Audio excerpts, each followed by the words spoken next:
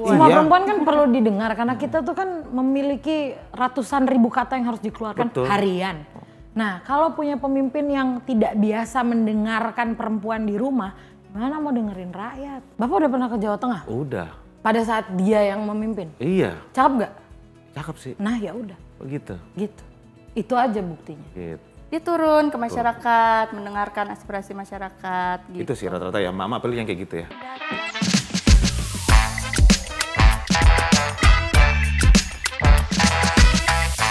Halo teman-teman TV, balik lagi bersama gua DJ Doni di program Ngomel, Ngobrol Rame Lucu. Nah, kali ini gua kedatangan dua Sri Kandi hebat katanya sih.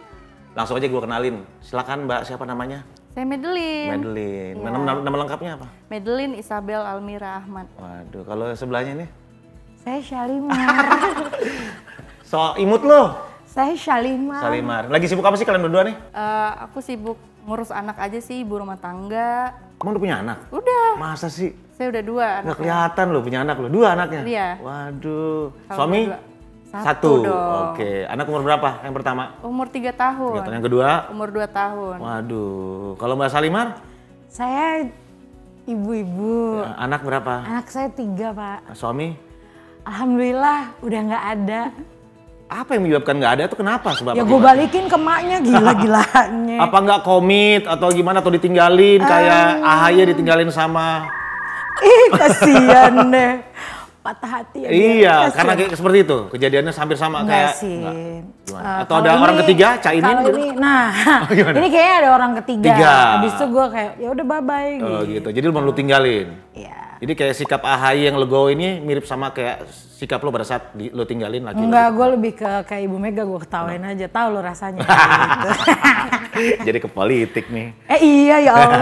tapi saya ibu rumah tangga loh. Bunuh tangga aslinya. Heeh, tapi wanita karir juga, anak saya tiga. Ya, Gitu, saya single mom dari tiga orang anak. nggak rencana nyari yang baru biar nggak single gitu. Ntar deh, enak banget sendiri. Hah? Enak Nggak, sendiri? Enak banget sendiri. Nggak ribet. Nggak ribet ya. Tapi kalau Allah kasih, dicepetin lah ya Allah. Lama. Kelamaan ya? Iya, Itu ngebet pendek. juga. Iya. Nah kalau Madeline sendiri, ada mau nambah lagi? Enggak, cukup. Nambah Suami apa anak nih? Nambah suami apa nambah anak nih? Nah, maunya yang mana? Nambah anak kali Nambah ya? anak ya, suami nggak dulu. Enggak. Kenapa? Emang enggak kayaknya, Emang enggak, bukan enggak dulu. Nah kesibukannya selain ngurus anak apa lagi nih? Katanya punya bisnis ya? Iya. Bisnis apa? eh, kebetulan melanjutkan eh, bisnis orang tua aja sih. Bisnis batik. Oh, dari dulu udah di kaya berarti Jogja. ya? Mm, Alhamdulillah berkecukupan. Bercukupan ya. Jadi, jadi warisanan. ya? Iya. Kalau temen saya nggak dapat warisan tuh. Terus Jadi Miskinnya terus. sian amat. Jadi ngurusin apa tadi batik? Batik. Batik. Udah ekspor? Belum masih di Jadi pasarnya masih lokal aja. Iya, lokal. Terus jualannya di mana? Di rumah? Eh, di rumah Di juga. terminal atau di? Enggak, di ada tokonya. Hmm, tokonya di di? Jogja. Oh di Jogja, asli Jogja, Iya, Madeline. aslinya Jogja. Aneh namanya Madeline Jogja loh. Iya ya. Nama lengkapnya tadi siapa? Madeline? Madeline Isabel Almira Ahmad. Wah, gue pikir orang Itali loh, ada Isabella segala macam. Ya kan? Mukanya Jawa tapi Mukanya jawir ya. Jadi bisnis itu udah berkembang sekarang? sudah. Bang dari dulu, dari bokap nyokap? Dari bokap Sekarang lo yang jalanin? Iya. Lumayan omsetnya? Ya alhamdulillah. lah. Kenapa nggak dibawa kemari sih bagi teman-teman batiknya? Boleh nanti ya. Batik apa sih? Batik yang Ada macam-macam dari batik tulis, Mm-hmm. batik print, printing, cap ada semua sih. itu untuk pakaian wanita, pria? Semua Semuanya ada. Anak-anak, pria, wanita, Wah, kainnya aja juga bisa. Dan kali dibawa ke sini dong ke Main TV dong, dibagiin teman-teman Main TV. Boleh, nanti dibagi satu-satu. Oh, Kalau Mbak Salimar, selain Akhirnya ngurusin seneng deh ditanya. nggak selain ngurusin tiga anak dan eh, nggak ngurusin suami lagi apa? saya ngurusin orang pak, saya kan punya IO nih, jadi saya ngurusin orang. Saya event organizer mulai dari yang mikro sampai yang mais. Nah, yang mikro tuh apa? Yang tadi satu lagi apa? Kalau sampai Nano. mais. Oh, bukan. Kalau mikro itu kan kayak uh, private event, jadi Hmm. ya ulang tahun, wedding apa. Kalau yang mais tuh ya beranjak sampai yang makro tuh kayak konser. Um, terus sebenarnya podcast podcast kayak gini juga kan sekarang udah masuk ya, Iya. terus digital, terus udah gitu yang grande adalah mais. Cuman mais tuh kan um, Indonesia ya apa apa disertifikasi, Iya, iya. jadi agak repot. Cuman mais tuh kalau kita bikin conference tuh gue juga bikin. IO perceraian juga nggak? Uh, enggak, kalau itu settingannya gue bisa atur. Itu lagi booming loh sekarang. Ember, Kenapa nggak ma- ma- mengarah ke situ aja? Gue baru jadi saksi tuh kemarin. Perceraian orang. Nah pernah ngeluh nggak sih di hidup lo nih sebagai apalagi tadi single mom ya? Nggak bisa. Single mom, hot mom kalau gue liat nih. Thank pernah ngeluh nggak sih hidup eh, Nggak bisa. ngurusin anak gitu? Nggak bisa Udah ngeluh. nggak ada suami gitu. Pernah ngeluh nggak lagi tidur? Ah kayak hidup gue gini banget gitu. Jadi nggak bisa ngeluh. Oh, jadi bisa ngeluh? Jadi nggak bisa ngeluh. Saking mumetnya gitu? Iya, jadi kayak ya udah lo bangun, lo jalanin, pokoknya target lo anak lo sehat, hidup, sekolah, berkecukupan, udah itu aja. Nggak ada waktu buat ngeluh karena udah kerja kerja kerja kerja kerja gitu. Tapi pokoknya anak anak Pokoknya anak dan jadi, bahagia. Jadi nggak ngeluh ya? Nah kalau Madeline sendiri ngeluh nggak sih punya satu suami, dua anak gitu? Ah suami gue cuma satu nih, nggak seru. Ngeluh ya karena tingkahnya mungkin ya. Lagi-lagi. Tuh ngeluhnya karena tingkahnya curhat Tiganya. Bo. Cer- cerita dong. Curhat dong mama.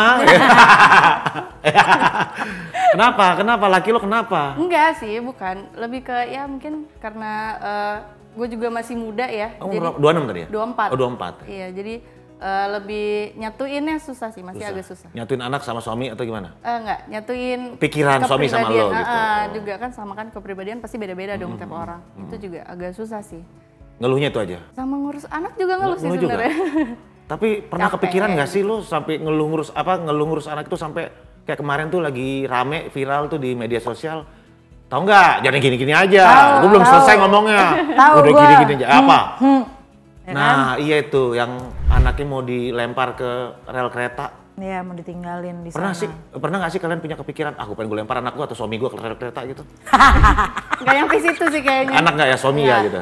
Kalau anak paling ya eh, menurut aku itu wajar ya. Wajar. Wajar, sih eh, kena baby blues ya. Baby blues, Kayak ya. gitu tuh wajar. Cuman eh, gimana cara kita menyi- menyi- Menyikapi. menyikapinya aja itu sih. terlalu ekstrim sih maksudnya Ekstrim. pas tapi pasti jangan dilihat bahwa si ibu ini terus wah ekstrim sekali anaknya mau dibuang atau dianya sebenarnya yang mau mengakhiri hidup ya. Tapi enggak.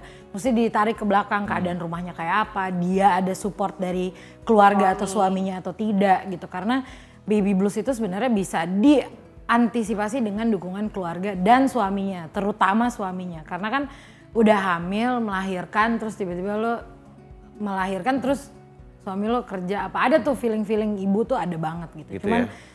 Cuman gue sih alhamdulillah ya senakal nakalnya anak-anak gue enggak lah gila lo gue yang gue yang 9 bulan gue yang ovennya di sini terus gue mau eh, enggak, Enggak ya? Lu juga enggak ya, Madeline ya? Enggak. Paling marah-marah aja, ngomel-ngomel aja asli Sama suami? Ngomel sendiri. Sama suami? Enggak, lebih Sama ngomel anak. sendiri aja. Berarti sih. sayang sama suami kelihatan. Ya, Gua tadi sih gue pancing-pancing sayang. suami, suami gue pancing-pancing suami. Sayang dong. Mau dilempar nggak ke rel kereta? Enggak Kagak, rupanya. katanya. Sayang rupanya. Nah lu berdua nih bagi-bagi waktunya gimana sih ke anak nih? Apalagi kan sibuk kan, sibuk ngurus batik, sibuk ngurusikin apa tadi IO perceraian. Ngurus orang. Oh, tadi. gimana lu bagi waktunya? gue bikin deal sama anak-anak. Waduh, waduh, walaupun walaupun gini dari kecil anak-anak gue sudah terbiasa bahwa bapak ibunya karena bapaknya juga em, seorang entertainer jadi juga eh, apa kerjaannya di luar gue juga cuman gue akhirnya bikin deal sama anak-anak walaupun ini tidak adil ya. Nggak Udah ada deal, nggak adil gitu udah ya? deal tapi nggak adil Kayak karena nggak adil lu adil ya. buat anak-anak karena tetap waktu mereka tumbuh gua tuh nggak di situ secara 100% yang seharusnya di situ. Tapi karena guanya sendirian dan mereka juga harus hidup jadi gua uh, bikin deal sama mereka. Kalau mereka telepon gue selalu angkat, mereka minta waktu gue, gue harus selalu ada. Gue akan clear schedule kalau mereka minta. Tapi kalau mereka nggak minta, gue akan bikin waktu buat mereka. Gitu. Jadi mereka tetap tahu mereka prioritas gitu. Dan di mana pun gue, kecuali gue di luar kota dan gue mesti atur orang, di mana pun gue, kalau anak telepon dan dia butuh, gue pasti tinggalin apa yang lagi gue kerjain. Luar biasa Salimar, harus aja jadi istri gue loh. Ya, tapi lo udah punya. Iya. Gimana dong? Kalau Atur kayaknya lah. buat anak tuh kayak serius banget tuh tadi. Iya. Soalnya cuma mereka yang gue punya. Masya Allah. Gue gak punya orang lain. Kan Jangan nangis, jangan nangis di sini. Ini nih nih nih. Nah, Madeline sendiri gimana? Ngatur waktu eh, ke anak, ke suami gitu? Eh, biasanya di weekend sih. Weekend. Weekend. Ya, weekend Pasti- hari keluarga? Iya hari Sabtu keluarga. Minggu? Sabtu minggu. Sabtu Minggu dua Kadang hari. kalau misalnya Sabtu nggak bisa banget nih, ha- Minggu harus. Berarti Sabtu Minggu nggak jualan ya, khusus ngurus anak, nggak ngurus batik ya. iya. Batik tutup dulu, nggak ada open PO, eh open Nggak. PO Open ya? PO yang bener. Bukan open PO ya? Yang bener open, PO. Bercanda. Jadi warung tutup dulu nih, ngurusin anak Iya. full. Karena kan warung eh, toko kan juga ada di Jogja nih. Jogja. Jadi paling dua atau satu bulan sekali kontrol. Oh, lu bolak-balik Jogja? Iya bolak-balik Satu Jogja. bulan Atau dua minggu sekali. atau Satu bulan. Satu, satu Dua- bulan, sebulan dua kali. Iya, Sebulan sebulan kali. kali. Oh gitu. Jadi weekend aja ketemu anaknya ya.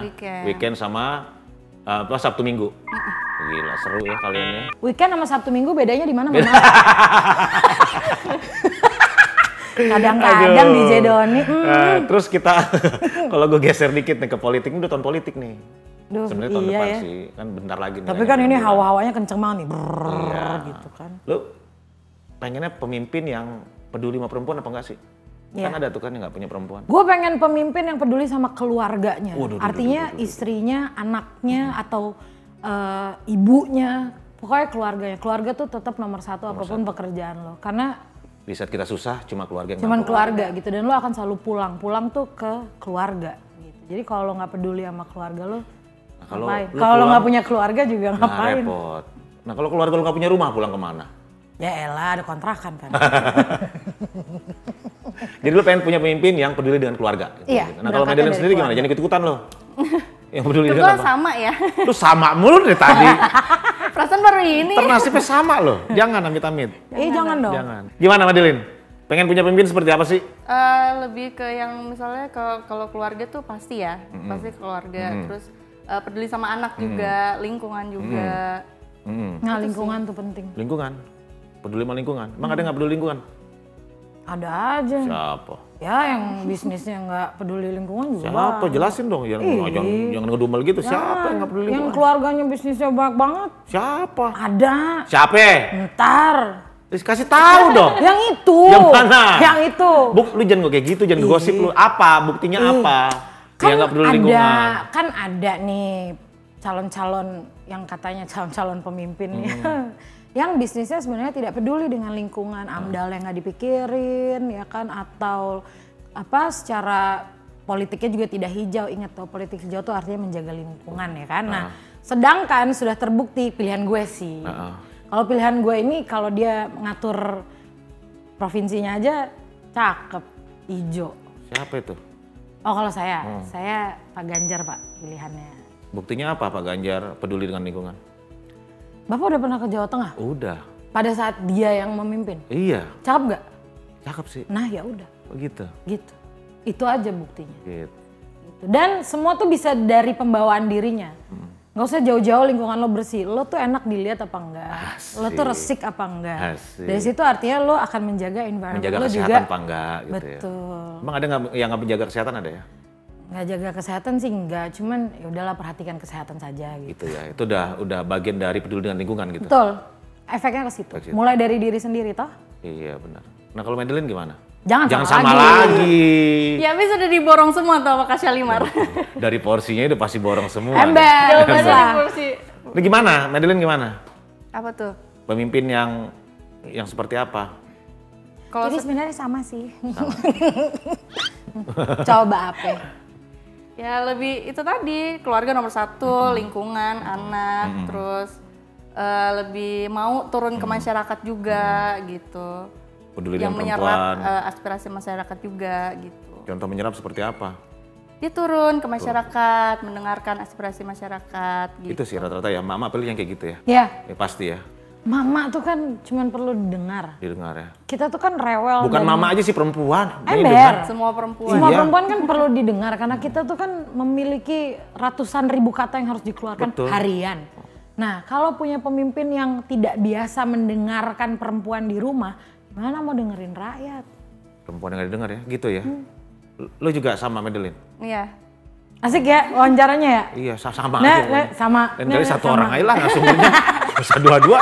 Sama aja. Jadi kalian pasti pilih Ganjar nih? Pasti. Karena. Pak Ganjar peduli lingkungan, uh, peduli dengan keluarga, orang tua, anak, istri, perempuan ya khususnya Perempuan. perempuan ya gitu ya. Dan dia memberikan ruang untuk perempuan tuh uh, Maksudnya ruang apa? Rumah kontrakan atau apa? Enggak itu dulu kali. Enggak, maksudnya gini, Ganjar itu dari track recordnya memberikan uh, bersama ibu ya, bersama ibu Atiko, dari yang gue baca, dari yang teman-teman gue ngobrol, teman-teman gue tinggal di Jawa Tengah, tuh mereka ngobrol bahwa uh, kegiatan PKK di sana tuh maju banget. PKK itu kan mayoritas ibu-ibu gitu. Dan bagaimana kecintaan ibu-ibu, kecintaan remaja putri, kecintaan perempuan muda, first jobber segala macam, kelihatan lah Kalau lagi ada Pak Ganjar di mana jeritan perempuannya tuh kan ah, Udah ganteng kali ya. satu ganteng. Mirip kayak gue ngasih Pak Ganjar. Mohon maaf enggak. Oh, iya. Enggak gantengan lu Don. Jadi karena ganteng lah ya kebanyakannya. Karena dia tahu, karena masyarakat perempuan kita tahu bahwa lo harus pilih yang sehat, lo harus pilih yang pinter. Dan Pak Ganjar adalah kombinasi dari keduanya. Orangnya suka olahraga, otomatis otaknya sehat. Iya. Dibandingin yang lain ya? sehat. Dibandingkan yang lain. Kagak olahraga, ngos-ngosan. Kasian lo, kasian tahu. Gitu. Kalau nggak ngos-ngosan, kalau nggak mulutnya doang olahraga Apa? isinya kagak. Ih Julita banget gue ya Allah iya. maaf. Medelin gimana Medelin nih? Jangan ikut-ikutan lagi. Sama, sama lagi, sama lagi, sama lagi. Oke, eh, Mbak Salimar, Medelin makasih banyak udah mampir ke Main TV. Jangan lupa nanti. Apa? 2024. Jangan lupa batik lu.